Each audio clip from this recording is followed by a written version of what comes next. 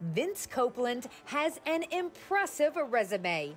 In fact, enough accolades that he's actually in the Michigan Harness Racing Hall of Fame. The Massachusetts native actually began his career in the Midwest, and after racing at several different tracks around the country, Copeland moved to Delaware in 2008 and has become a popular horseman on our Delmarva circuit. We caught up with Vince, or as many call him, Vinnie, for this edition of Post Times Q&A. How did you get into harness racing? Through my dad and grandfather. You know, it was a family business. That's how we grew up. So that's how I got started in it. They drove and trained, both of them. You know, dad had been in it since he was a kid. And I just followed in his footsteps, you know, so uh, my grandfather, he got it in later in life. He started out with uh, draft horses and then went to harness horses. If you could get in a time machine, where would you go? You know, I thought about that one. There's so many places. You know, I think I'd rather go like to the old west, you know what I mean, when everything was just starting up and just see how that was. And, and uh, I think that would be pretty neat. I'm sure a lot of people would want to do that. I don't think I want to go to, I don't want to go to the future, so. What's the best advice you've ever gotten about driving and training horses? Uh, it was from my dad.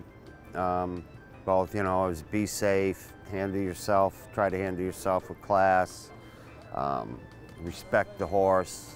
And with training, it was the same dad. Um, you know, patience, put a good foundation in him. Horse will tell you when he's ready to go. Um, just stuff like that. What's the last movie you saw? And what's the review?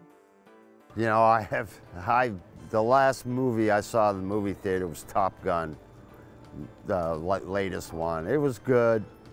But that's how long it's been since I've seen a movie at the movie theater, and I, I can't remember the last movie I watched because so far none of them been any good. So I just kind of given up on them. If you weren't training or driving horses, what do you think you'd be doing? I don't know. I might have went into something with uh, being a pilot. I always like to fly. You know, I mess around with it a little bit. You know, just guys let me fly the plane a couple times when we flew somewhere to drive horses. I think it's something like that. I think I'd have gone that way. Or maybe the Air Force, you know. I don't know. Or it could have been something with horses in a different category, but uh, probably that. Who is the best racehorse you've ever seen in person? I'm going to say Mack Lobell. I thought he was the best at the time. I think, I wish I would have seen some beat somewhere. Um, when he was racing, I didn't see him in person. But Mack Lobell probably, I think, was the best racehorse I saw person. Tell me something about yourself that people may not know. I don't know. I'm a pretty open book, so I think if they don't know it by now, it might be the best thing they don't know it. So other than that, I really don't know. I don't really have anything that I don't think people wouldn't know. Other than harness racing, what's your favorite sport and your favorite team? Football is my favorite sport, and I've been a lifelong New England Patriot fan. So, um, and that's and I like hockey too and golf. Other than that, those are those are the three that I'll watch. What's your pet peeve? I got a lot of them. One of my pet peeves is people that drive in the left lane and will not get out of the left lane and just sit there and back traffic up. That is one of my biggest pet peeves. What's the smartest thing you've ever done in life? Maybe leaving Jersey and going to Michigan and starting my career up. Having my kids, raising my kids. Um, you know, I think that uh, both of my girls have, are really nice girls. So I would say probably the kids, raising the kids out there. I think that, that was my smartest thing. Other than winning, obviously. What's your favorite part about harness racing? You know, I think it's all the people I've met and the experiences, the places I've gone and seen, you know, different people. I, but I really think it's the people.